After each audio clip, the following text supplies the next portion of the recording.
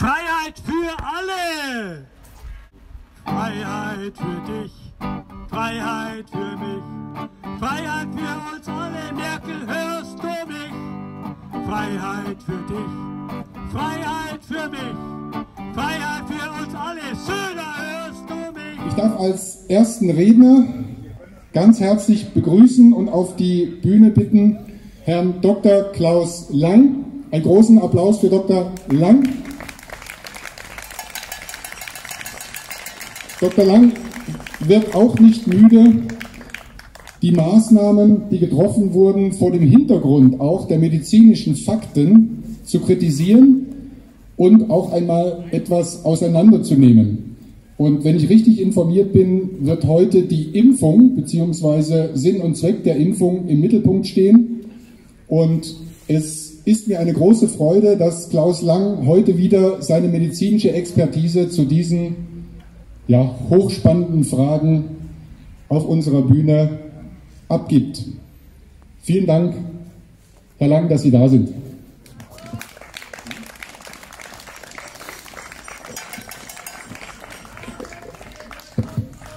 Schönen guten Tag, liebe Erdinger.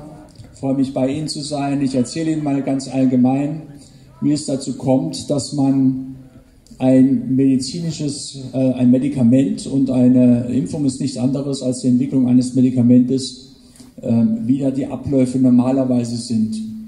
Wenn Sie also irgendein Medikament gegen eine Krankheit gefunden haben, was wahrscheinlich wirkt, muss es bestimmte Prüfungsläufe durchlaufen, das nennt man halt Studien.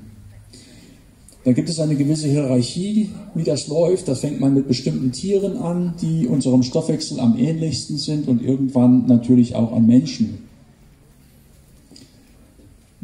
Das braucht aber eine bestimmte Zeit, weil es einfach abgearbeitet werden muss. Und Sie müssen zum Beispiel bei jedem Medikament auch das Medikament auf Nebenwirkungen prüfen, an die Sie gar nicht gleich denken. Beispielsweise, wenn Sie eine Kopfschmerztablette auf den Markt bringen oder eine Schlaftablette, dann müssen Sie auch überprüfen, ob die eventuell eine Wirkung auf die Reproduktionsfähigkeit, also meinetwegen auf Schwangerschaften haben kann.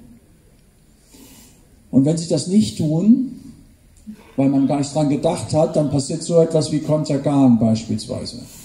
Da ist man auch nicht auf die Idee gekommen, dass eine sehr wirksame Schlaftablette wenn sie eingenommen wird von Frauen im zweiten und dritten Monat ihrer Schwangerschaft, eben missgebildete Kinder hervorrufen können. Auf die Idee ist man gar nicht gekommen. Das weiß man jetzt. Deswegen müssen diese Medikamente alle so geprüft werden.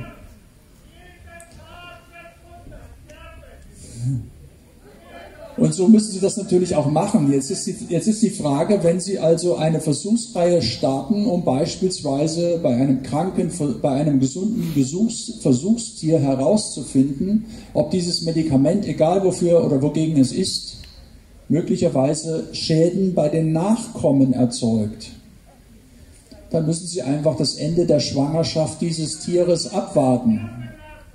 Und die, und die Dauer einer Schwangerschaft können sie eben nicht per Parteitagsbeschluss in Berlin festlegen. Und deswegen dauert es eben auch fünf bis sechs Jahre vom Auffinden einer Wirksubstanz, bis sie alle diese Untersuchungen gemacht haben, ausgewertet haben bis, es, bis man das Ergebnis hat, dass dieses Medikament so sicher ist, dass es an jeden in der ganzen Welt über eine Apotheke oder wie auch immer verkauft werden kann. Das heißt, es ist praktisch unmöglich, vom Auffinden einer Substanz innerhalb von einem Jahr alle diese Testreihen durchzuführen. Das heißt nicht zwangsläufig, dass diese Testung schlecht ist oder dass dieses Medikament schlecht ist. Es sagt nur aus, dass wir bestimmte Informationen nicht haben. Das sagt es aus. Und es sagt, wenn man die, das kann durchaus wirksam sein, dieses Medikament, das ist gar keine Frage. So wie beispielsweise in den 90er Jahren auch eine Fettsenkungstablette sehr wirksam war, die von der Firma Höchst hergestellt worden ist. Nur leider hat man hinterher erst festgestellt, dass sie Leberschäden machen kann bis zum Leberversagen und es sind Menschen dran gestorben. Das hat man vorher nicht gemerkt. Das ist nicht die Boshaftigkeit der Pharmafirma. Die können dafür nichts. Sowas kann auftreten. Aus diesen Dingen lernt man in der medizinischen Wissenschaft und testet das später. Und wenn man eben aus irgendwelchen Gründen diese Tests nicht macht, dann bedeutet das nichts anderes, als dass dann die Anwender zu den Versuchstieren werden. Das Medikament, was von der Mainzer Firma zur Impfung hergestellt wird, hat nach jetziger Erkenntnis der Studienlage eine sehr gute Wirkung und wenig Nebenwirkung. Bei wem wurde dieses Medikament getestet? Es wurde bei 44.000 Menschen im Alter von 20 bis 70 Jahren bis 65 Jahren getestet. Nochmals zur Präzisierung, bei gesunden 20 bis 65-jährigen Menschen. Wer soll denn das Medikament bekommen als erster? Die über 65-Jährigen mit Multimorbidität, also die, die schon viele Krankheiten mitbringen. Das kann gut gehen. Das kann funktionieren. Aber genau bei diesem Klientel, jedenfalls nach Publikationsstand von dieser Woche, sind diese Art von Menschen gar nicht in die Studien eingeschlossen worden. Das ist auch wiederum keine Boshaftigkeit, sondern so funktionieren Studien und deren Organisation in, der Frühzeit der Entwicklung eines Medikaments. Man nimmt erstmal Gesunde in einem normalen Alter und testet, es bei diesem testet dieses Medikament aus. Momentan ist der Kenntnisstand, dass diejenigen, die es als Erste kriegen sollen, in den Studien überhaupt nicht repräsentiert sind. Das heißt nicht, dass es schiefgehen kann. Das heißt nicht, dass es schlecht ist.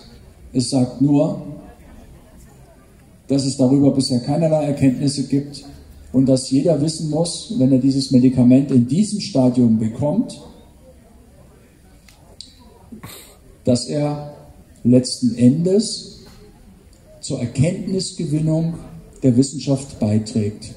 Vorsichtig formuliert.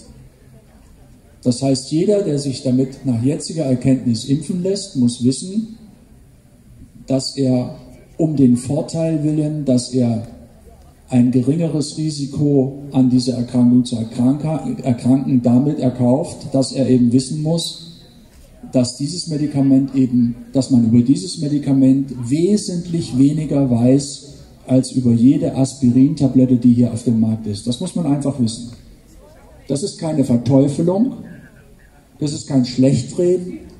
Ich mache nur darauf aufmerksam, dass der Wissens- und Erkenntnisstand zwangsläufig aufgrund der ultrakurzen Testzeit gar nicht größer sein kann.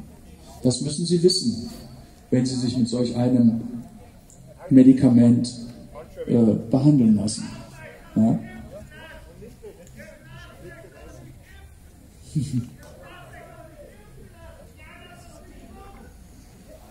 Ich glaube, der Herr da hinten in der roten Jacke sollte auch mal vors, Telef äh, vors Mikrofon treten. Ja? Das wäre viel günstiger, da braucht er nicht, braucht nicht so zu schreien. Das ist viel einfacher. Ja?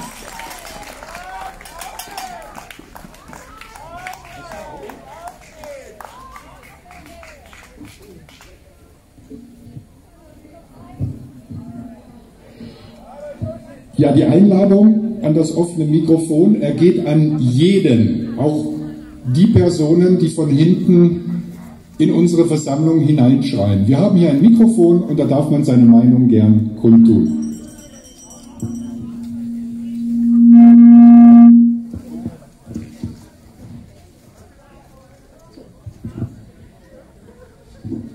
Jetzt vielleicht Zeit für ein bisschen Musik.